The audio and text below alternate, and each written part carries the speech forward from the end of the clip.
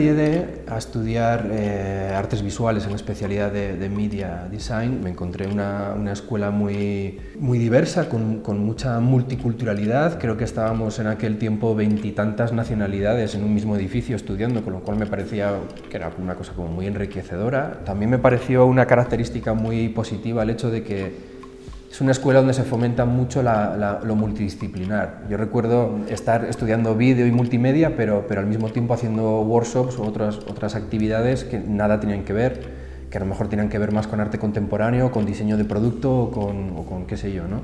Eso es una cosa muy enriquecedora para mí porque yo entiendo que una persona que es creativa puede expresarse utilizando distintos lenguajes. Es decir, el que es creativo no le importa utilizar el lenguaje del diseño gráfico, el lenguaje del vídeo, el lenguaje del diseño de moda, eh, no importa, ¿no? Si puedes, puedes eh, desarrollar tu creatividad utilizando muchos, muchos medios o muchos lenguajes. Me parece una de las cosas más interesantes que tiene esta escuela. Yo por lo menos disfruté muchísimo de esa manera. Yo lo que recomendaría a los estudiantes eh, es que tengan muy claro qué es lo que realmente les gusta hacer o sea, y que se dediquen solamente a hacer lo que les gusta. A veces es un poco complicado porque cuando tienes menos edad, así no tienes muy claro hacia dónde quieres dirigirte, ¿no? Y está claro que siempre hay una, una evolución en la persona, no quiere decir que porque un día decidiste hacer esto tengas que hacerlo el resto de tu vida. Todos evolucionamos, todos vamos cambiando.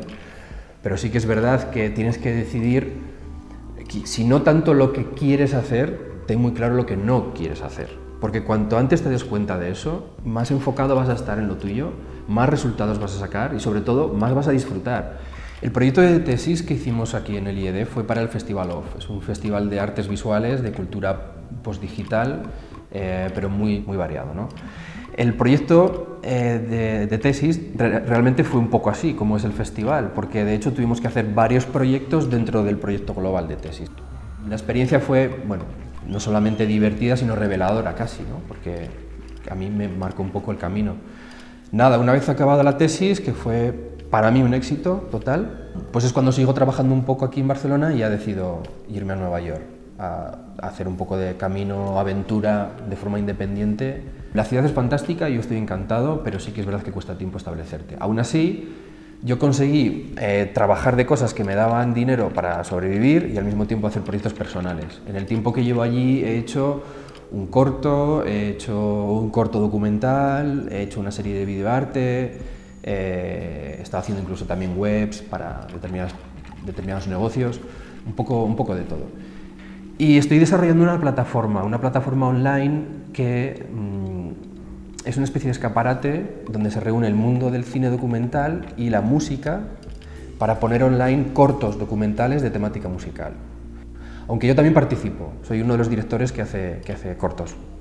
Pero está abierto a que directores de todo el mundo o, o músicos, tanto de un campo como del otro, se junten y tengan este espacio en común para, para compartir proyectos. De lo que aprendí en el IED, eh, que, sigo utilizando y que me ha servido para desarrollar pues, los proyectos que he hecho hasta la fecha, desde luego ha sido lo que es la realización cinematográfica, el vídeo, a nivel de, bueno, cómo usar las cámaras, cómo expresarte con la cámara, cómo utilizar el lenguaje audiovisual en la realización ¿no? con la cámara y sobre todo también mucho el tema de edición, el uso de programas como Final Cut, After Effects para hacer motion graphics, etcétera, son, son herramientas que uso eh, muchísimo para, para, mis trabajos porque yo además hago todo el proceso, desde escribir un, guion a la realización o la dirección, luego monto yo también mis propios vídeos, mis, mis propios trabajos, los edito y, los pongo luego online en mi página web o en, otras. Es decir, que yo, que yo hago todo el proceso. Eso, sin lo que aprendí en el IED, sencillamente sería imposible. O sea, en, en, la escuela lo que aprendí es hacer todo por mí mismo, o sea, ser completamente autónomo. A largo plazo, pues yo me veo haciendo cine, por lo menos lo que me gustaría. O sea, yo me veo escribiendo y dirigiendo cine, no, no grandes producciones, pero sí un cine un poco más de autor que por lo menos es con el que más me, identifico. No sé si viviendo en Nueva York, pero no es un mal sitio, quizá teniéndolo como lugar de operaciones, pero tampoco quiero estar el resto de mi vida en una ciudad ahí tan competitiva y tan...